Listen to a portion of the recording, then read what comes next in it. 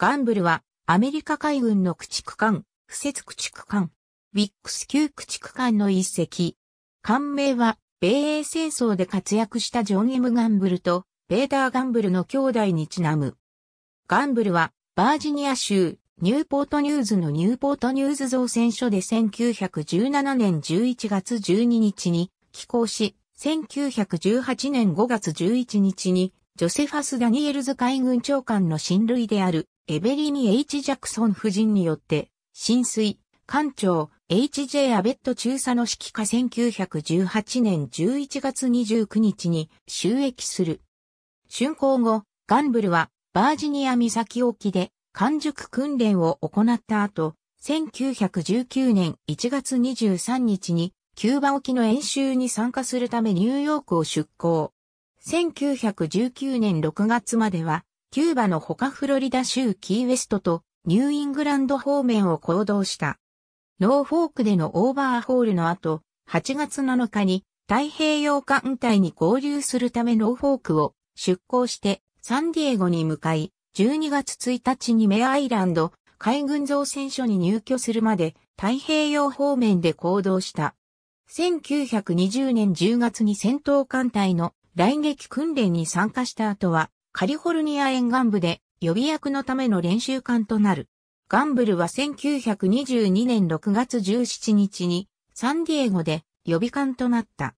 1930年5月24日、ガンブルは現役に復帰したが、間もなく6月13日に不設駆逐艦 DM-15 に再類別され、メアアイランド海軍造船所で改装工事が行われた。工事終了後は西海岸から真珠湾に開港され、1930年7月に第2機雷部隊の機関となる。後に第1機雷部隊第1機雷軍の機関も兼ねた。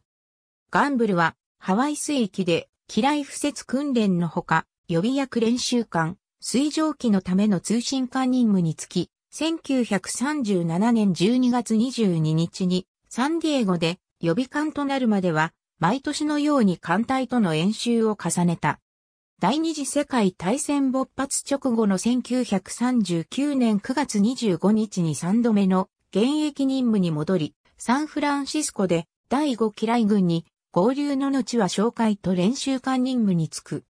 1941年4月にはハワイ水域での臨戦警戒任務に就くため、真珠湾に開港され、第2機雷軍に属することとなった。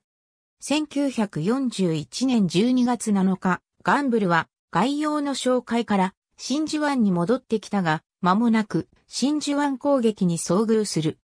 直ちに戦闘態勢を整えて、いては機銃の射撃を開始し、一機の日本機が墜落して行くのを確認する。日本機の空襲が収まると、再び概要に出て、空襲から免れた空母エンタープライズを出迎え、真珠湾内に誘導した。1942年2月中旬までは、領艦ラムゼーと共に、パゴパゴ業の輸送船団を護衛し、パゴパゴ到着後は、トゥトゥイラ島周辺海域に防御機雷を敷設する。4月7日から14日の間は、ラムゼーと共に、フィジー諸島方面を行動し、南ディ近海に機雷を敷設した。真珠湾に、祈祷の後、ガンブルは、ミッドウェー島に重火器を輸送する船団の護衛に、当たるが、これは歴史的ターニングポイントとなるミッドウェー海戦の直前のことであった。輸送任務の後は、ブリース及びトレーシーと共にエスピリトサント等の湾口に防御機雷を敷設するため南下した。8月27日、ガンブルはガダルカナル島に向かう任務軍に加わった。2日後の8月29日朝、ガンブルの見張りは潜水艦の司令塔を発見し、3時間余り爆雷攻撃を行う。やがて多量の油と板の破片が浮かび上がってきた。これが以後第123潜水艦の最後であった。同じ日の午後には空母サラトガの搭乗員4名を救助し、全速力でヌラ島に運んだ。ガダルカナル島の戦いにも直接関わり、8月31日には158名の海兵隊員を輸送。9月5日に兵員輸送艦ウィリアム・ワード・バローズを護衛してルンガ沖を立ち、エスピリトサント島に到着。以降もガダルカナルでの勝利のために紹介、護衛及び輸送の各任務に励んだ。1943年に入り、ソロモン方面の戦線はニュージョージア諸島に移る。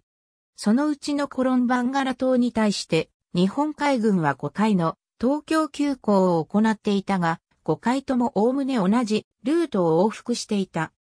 東京急行が往路も袋も決まってコロンバンガラ島南方のブラケット水道を通過してビラ白地に出入りしていることを察知したアメリカ海軍はブラケット水道に機雷を敷設して東京急行をほふることを画策する。5月4日、ガンブルは、ブリース及びプレブル護衛の駆逐艦ラドフォードと共に、エスピリットサント島を出撃。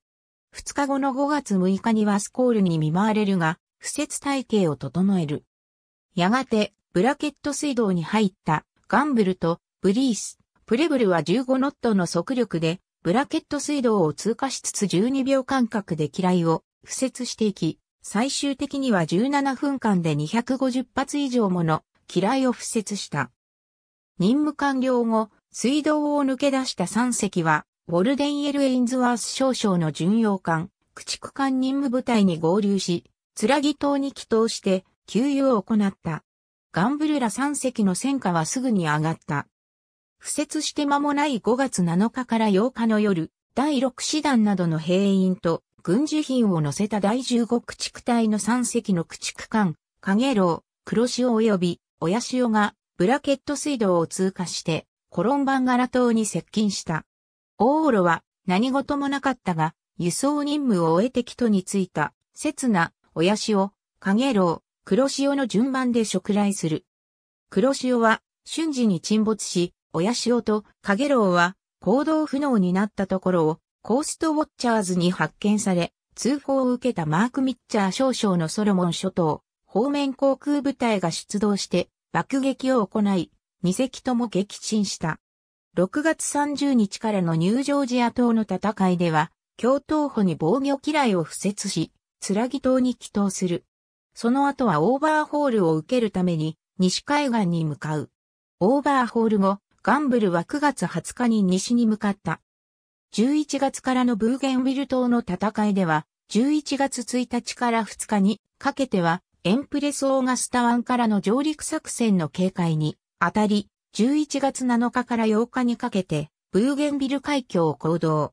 その後11月23日から24日に、ツラギ島に停泊する。ニューヘブリディーズ諸島方面で護衛任務に就いた後オーバーホールのためにサンフランシスコに向かい、1944年10月12日に到着した。オーバーホールと再訓練を終えたガンブルは1945年1月7日にサンディエゴを出港し、ハワイとマーシャル諸島を経由して2月17日に硫黄島沖に到着、火力支援と浮遊機雷の爆破任務に就く。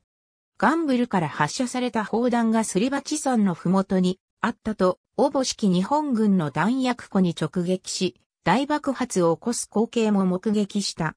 翌2月18日、ガンブルは不意に日本機の爆撃を受け、2発の250ポンド爆弾が命中。艦内では火災が発生し、上甲板では重量物を投棄して被害軽減に努めたものの、核壁が破壊された2つの過室が浸水したことにより、艦は立ち往生のやむなきに至った。ガンブルの乗組員のうち5名が戦死し1名が戦闘中の行方不明、8名が負傷した。2月19日に洋島に海兵隊が上陸した場面を見届け、ガンブルは総海駆逐艦同士に栄光されて、サイパン島に向かう。栄光の任務は途中で中型揚陸艦に変わり、2月24日にサイパン島に到着。駆逐艦母艦ハムルによって修理が開始される。しかし、1945年6月1日付で修理を打ち切って退役し、グアムアプラ郊外まで栄光された後、7月16日に撃沈処分された。ガンブルは第二次世界大戦の功績で7個の従軍聖賞を受賞した。チャプター7、1945。The Official Chronology of the US Navy in World War II ハイパワー2013年9月9日閲覧。では、神風攻撃による損傷としている。ありがとうございます。